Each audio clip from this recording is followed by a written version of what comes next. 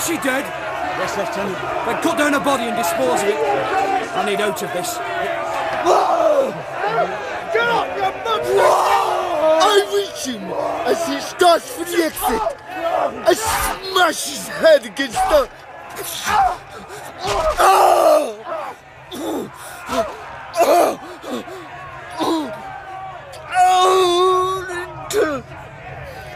He moves no more. Then, with blood in my hands, I pick Esmeralda.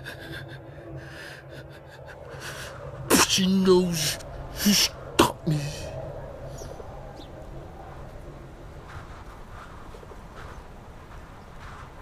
He is st- standing with his back to me. He turns around slowly. I lay her body on the ground before him like he'd sacrificed her. You have brought her here. What will you do with a body up here? I came where I thought you'd be.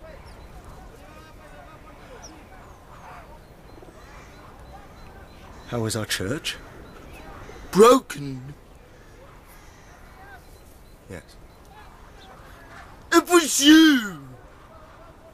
All of it! I am your father, Quasimodo. Whatever you think I'm. Whatever I have done, I I. throw you from this roof! Yes, you could. I could! What kind of man threatens his own father? The one that you made! No, no, I made a good man. Whatever else, I made you good. I lift him and pin him against the parapet. He can feel air. Air of outside on skin. His skin. Air of world that is so far below. No, no, you need me, Quasimodo. You can't do this, to me. This is good. I am good. I took you in when no one else would. Now put me down. Put me down right now. You See Paris? All of Paris! Thou shalt not kill. You broke that first! Why? Why were you weak? I don't know. I wish I hadn't been, but Quasimodo. I lift him over the side of cathedral. I have wet my robes. I do not care. I do love you. No, You are my son. no. Yes, I'm not saying this to save my life. You are mine. I didn't expect to love you, but I do. I made you my son.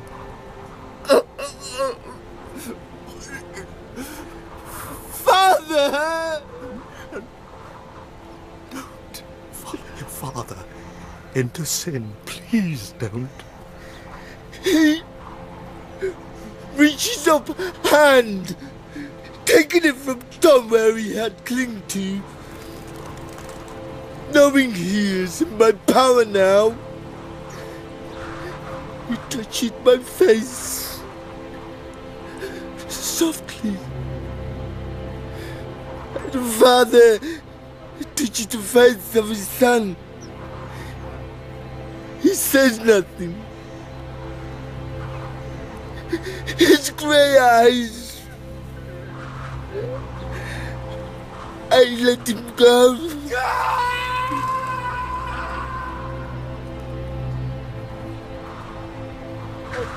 He is.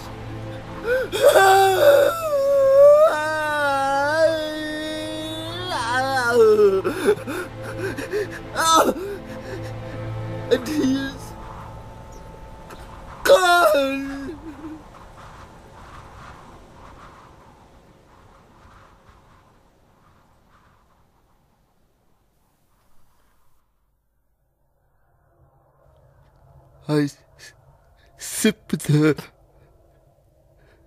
her body for a day,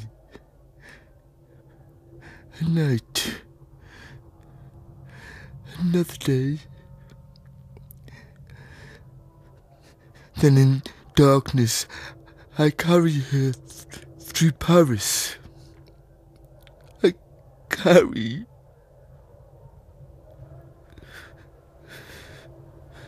No one sees me.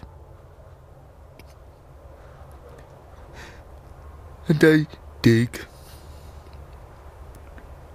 Lay her into a grave. Beside a tree. No one sees. And then I Now I am here. And it is me. And it is you. And I'm tired now. And you are dead. Oh. And Paris is so quiet. and I have left the walls of my home. Because it's not my home. I will make here my home. Here with you. I am 22 years old. I have lived no life. All the life I had was with you. So, I will sleep now. Beside you. Over you. You will not come to harm any longer. You will not. Because I won't leave you again. However much you ask me. Oh.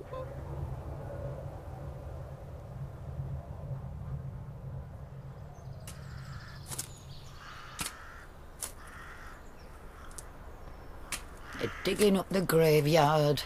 There's nothing sacred anymore. Is nothing sacred? Ten years ago, we saw ruffians kick down the door of Notre Dame. Nothing is sacred. Ten years?